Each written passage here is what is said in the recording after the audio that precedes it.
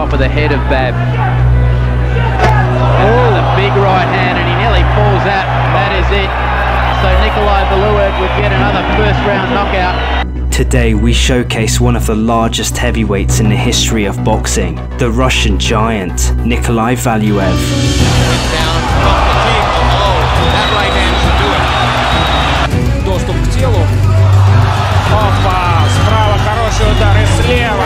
Seit der Zeit seit 2003, seit er hier unter Vertrag ist, hat er am Ende immer das bessere Ende für sich und auch jetzt gegen Beck. Standing at 7 foot tall and weighing over 300 pounds, Valuev dwarfed each and every one of his opponents as he fought to become the tallest and heaviest man to ever win a world title. He is a huge man. He's got arms like tree trunks. His, his legs are like forests. Uh, there's no way I'd, I would even share a, a, a room with the guy. As a child, Valuev rapidly outgrew his peers, despite being born to parents who were both 5 foot 5. And by the late age of 20, Nikolai started boxing as he aspired to become the first ever heavyweight champion from Russia. The Russian giant, Nikolai Nico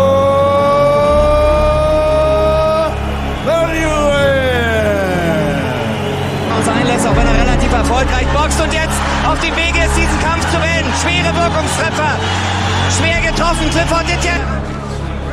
Wir sind in der dritten Runde, wir sind bei der Kampfentscheidung. Valuev continued winning fight after fight and racking up a tremendous 42 win streak before earning his first title shot in 2005 against the American champion John Ruiz. gewesen, mal sehen, ob er das so After 12 rounds of imposing his enormous size onto the smaller man, Valuev was awarded a unanimous decision win, making him the first Russian heavyweight champion in history. Und dann ist es aus! The world champion is Nikolai Valuev! I had been striving for it for a long time. I'd gone through a lot of different obstacles and difficulties. But in the end, when I was in that ring, I felt that today is my day. As the new champion, Nikolai successfully defended his title three times within the next two years. Knockout past the sixth round.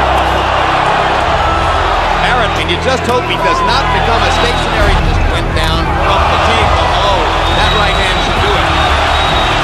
But in 2007, Valuev suffered his first career defeat by decision, and it wasn't until three fights later where he regained the vacant WBA title by beating John Ruiz for the second time.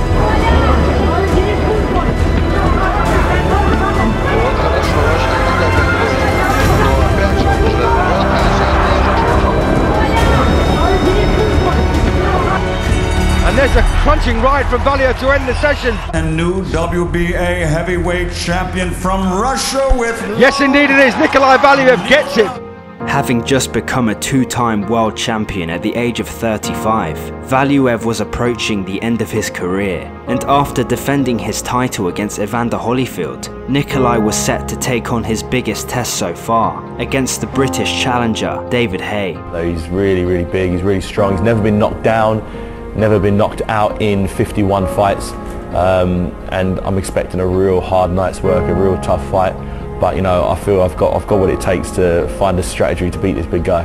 Here he is, the biggest heavyweight champion in history.